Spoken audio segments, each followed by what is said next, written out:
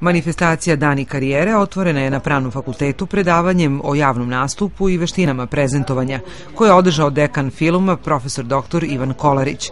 Učionica je bila tesna za sve zainteresovane koji su želeli da prate prvu u nizu radionice edukacija na ovogodišnjim danima karijere.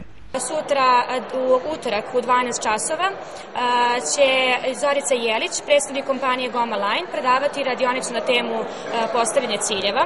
Zatim istog dana u pola četiri će predstavnici Centra za razvoj karijere predavati radionicu na temu kako napisati CV i priprema za intervju. U okviru projekta Dani karijere u četvrtak 27. marta predviđena je radionica o socijalnom preduzetništvu, a manifestaciju će 2. aprila zatvoriti predavač iz kompanije Johnson Controls na temu Kako do posla. Projekat Dani karijere održava se drugi put u Kragujevcu u organizaciji Međunarodne studentske organizacije ISEC.